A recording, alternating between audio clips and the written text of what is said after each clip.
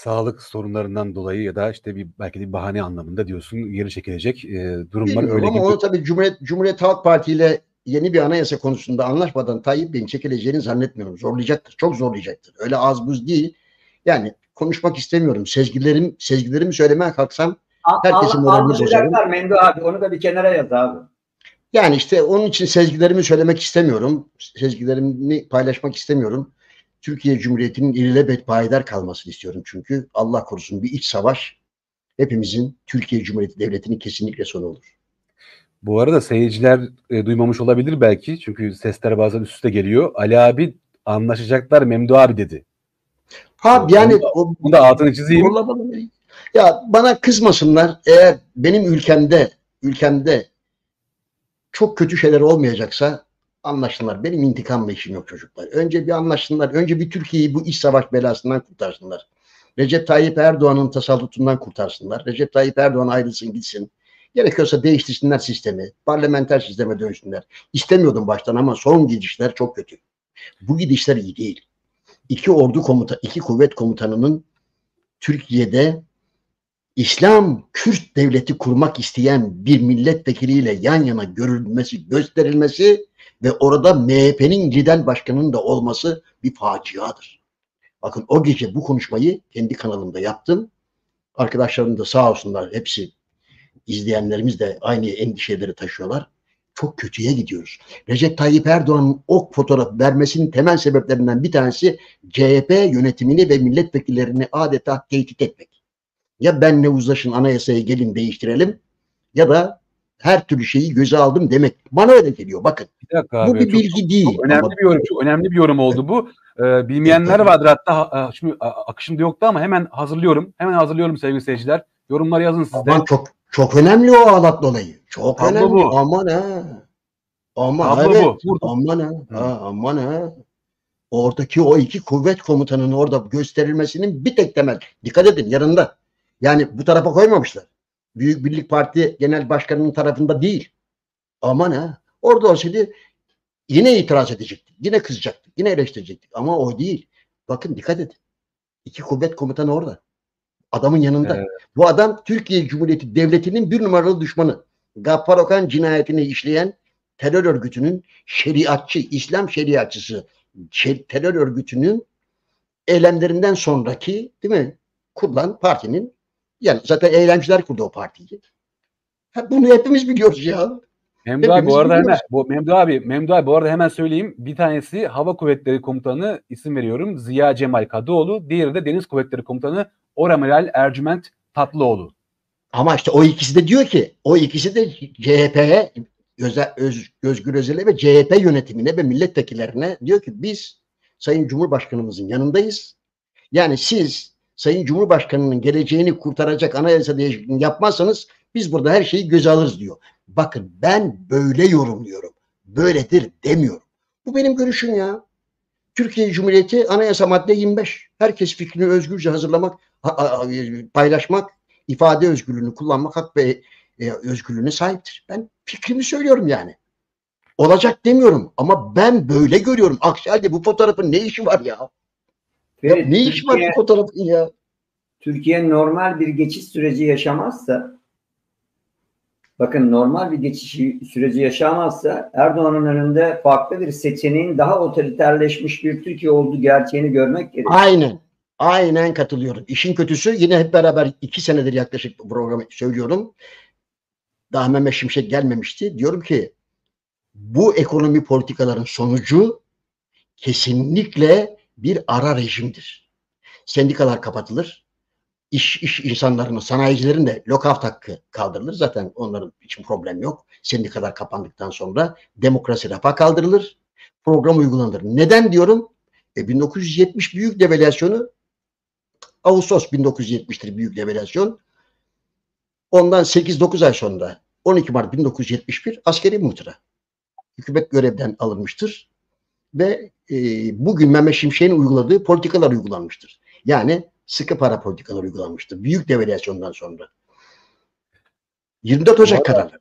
Abi o Tabii. iki, iki, iki, iki komutanla ilgili bir bilgi verelim bir anlamda. Şey e, orada bu bu kareden sonra gittikleri başka yerlerde büyük e, bir şey e, e, aynı kareye girmek istememişler galiba. Yani bu sadece bir şey. Başka. Yani bu, bu, yani bu fotoğraf artık bu fotoğraf, galiba ama tabii işten geçti tabii ki artık o kararı. bu fotoğraf orada duruyor kardeşim. 10, 24 Ocak 1980 kararları. Aynı Mehmet Şimşek'in şu anda uyguladığı kararların birebir kopyasıdır. Birebir kopya bak hiç arada fark yok. Çünkü bu politikaların ismi Milton Friedman'ın para politikalarıdır. Sıkı para politikalarıdır. Ne derseniz deyin. Ne oldu?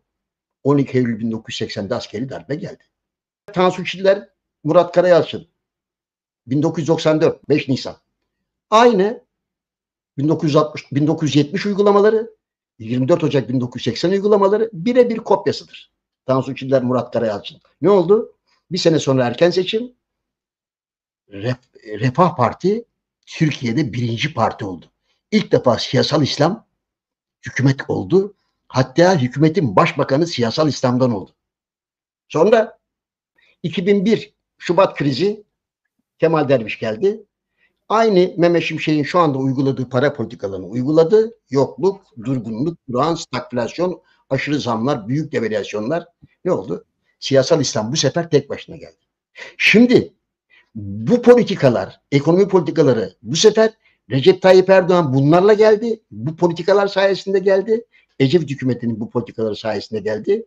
Şimdi aynı politikaları Mehmet Şimşek uygulayacak. Çok büyük ihtimalle o ölü noktada da Devlet Bahçeli de diğer muhalefet partilerine bir olacaklar. Erken seçime götürecekler.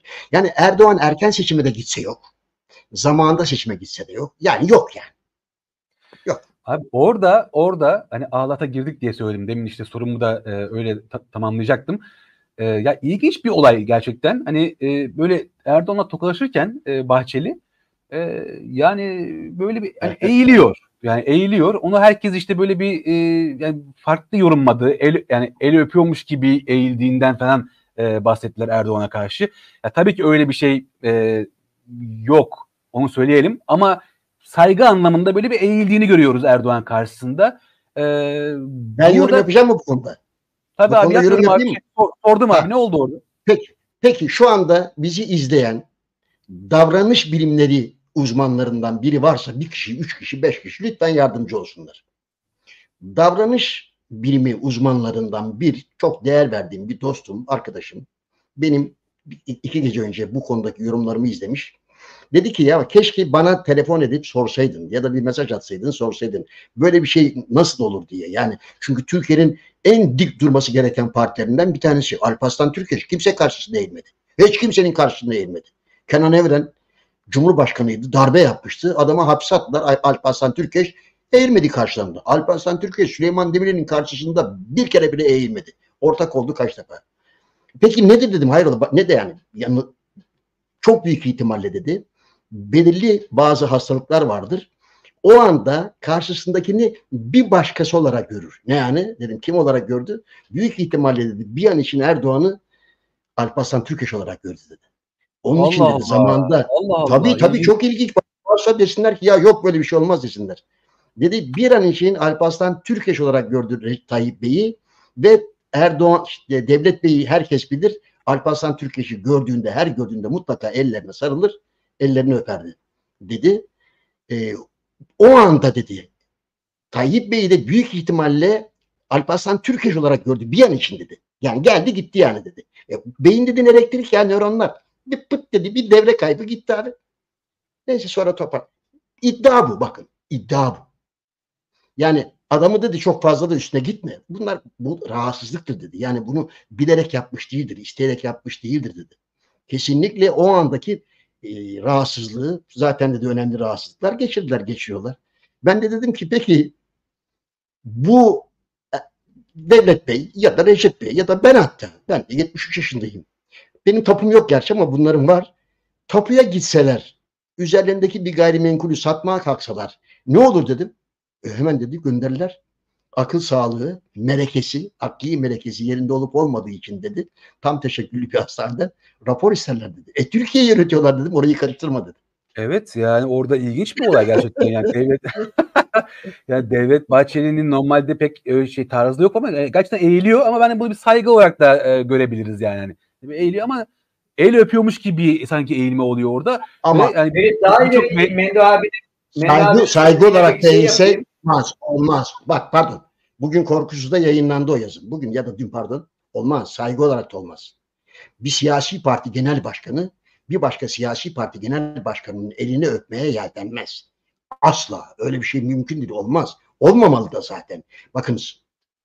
Yargıç, savcı, milletvekili, bakan, üst düzey bürokratlar, bilinen tanınmış insanları ve bilinen saygıdeğer gazeteciler ve sanatçılar bir devlet adamının bir siyasi parti genel başkanının elini öpmezler. O kadar derin saygı duymazlar. Ali Koç ellerini cebine soktuğunda Tayyip Erdoğan yanında ben yazı yazdım. Sizle de beraber paylaştım mı bilmiyorum konuştuk bu konuyu. Dedim ki ya Ali Koç'tan bahsediyorsunuz kardeşim. Neden Cumhurbaşkanı karşısında ellerini cebine çıkarsın hazır olda dursun ki? Onun da kendince bir statüsü var. MHP Genel Başkanı'ndan bahsediyoruz ya. Olabilir mi bu ya? Cumhurbaşkanı. Sadece Cumhurbaşkanı değil Erdoğan. AKP Genel Başkanı. Bir başka siyasi parti genel başkanı bir başka siyasi parti genel başkanının elini öpmeye yeltenmez. Onun için beni uyaran doktor dostuma, uzman dostuma teşekkür ediyorum. Çok büyük ihtimalle o anda Bahçeli devre kesti. Tayyip Bey bir an için Alparslan Türkeş olarak gördü karşısında mutat hareketini yapmaya kalktı. Sonra toparlandı diye tahmin ediyorum. Bir tarafta o kareyi, kareyi görmeye Ferit, şunu hep buldum en sonunda. Arıyorum. Tamam şöyle abi. Şimdi diyorum abi Ali abi. Evet olay buydu. Bu Ali abi buyur.